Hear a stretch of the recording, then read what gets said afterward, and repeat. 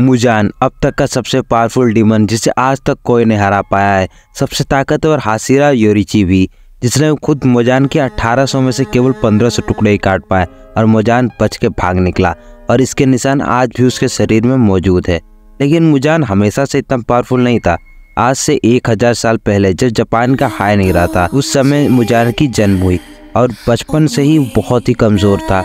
अपने माँ के कोप में ही उसकी तीन बार दिल की धड़कन रुक गई थी, जिससे किसी को भी यकीन नहीं था कि ये लड़का बच पाएगा।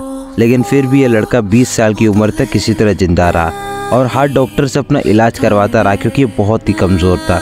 मगर कोई भी इलाज काम नहीं आया और अचानक एक डॉक्टर आते हैं और इसे ब्लू स्पाइडर लिली का जूस पिला देते हैं, लेकिन उसका भी इस पर कोई असर नहीं होता और ये डॉक्टर की जान ले लेता है।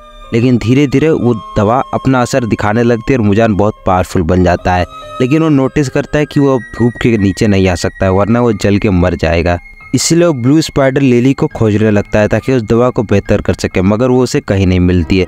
तो अब उसके पास दो ही तरीका था, या तो ब्लू स्पाइडर लिली को ही खोजते रहे, या फिर साथ में एक डीमन भी बनाते रहे, क्योंकि कोई ना कोई एक डीमन तो ज़रूर होगा जो कि धूप की रोशनी में ज़िंदा रह पाए, और वो उसी का डीएनए ले लेगा।